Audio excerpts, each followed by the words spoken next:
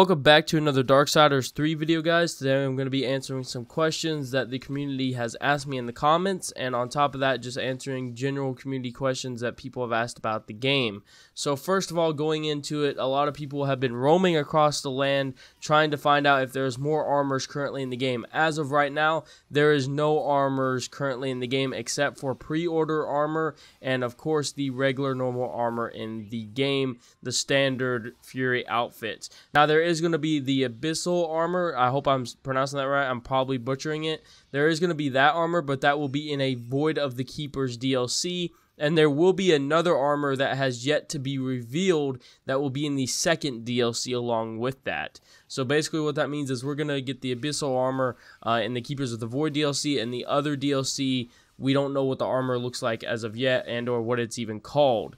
So going on to the next thing on top of that is the fact that there is no horse gameplay in Darksiders 3.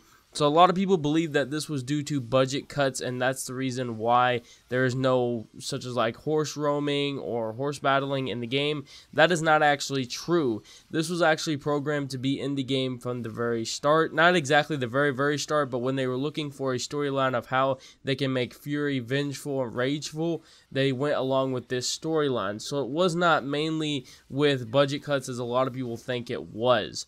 The next thing and final thing is executioners and finishers in the game. What this essentially means is when you go and kill a boss in the first Darksiders and the second Darksiders, you would have a button prompt being B to execute it. And if you did not hit that in time, they would regenerate and you'd have to go through the whole process again of what you just did. Not the entire process, but just like, you know, damage them again until they hit, until they had the B button over them. So when that happened, uh, a lot of people saw that in this game there would be, or they found out that there would be no executions or finishers in the game. So a big part of this was the simple fact that the developers did say that they wanted finishers and executions in the game, but at the same time they felt the reason being that it made the game a little too easy. But the main part is because of budget cuts and constraints that they had to go along with. So they would have added some type of finishers and or executions to normal enemies, not bosses. They didn't want to do it to bosses. They wanted to leave bosses where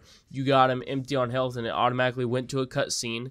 Uh, but for regular, normal little enemies, they were going to try to add some, you know, executions and finishers, but they weren't able to do it due to budget cuts. In my opinion, don't shoot gunfire games about this. It's not their thing. They had to go with what they had, and they did a pretty good job with it. The other thing, although, is that they went with no finishers and executions personally or didn't even add just one or any because of the reason being that they wanted the game to be more challenging. So a while back, I'm not exactly sure when, if I can find out, link in the top link in the description, but there was basically a question asked as to, you know, about um, executions and finishers, and they said they would be in the game.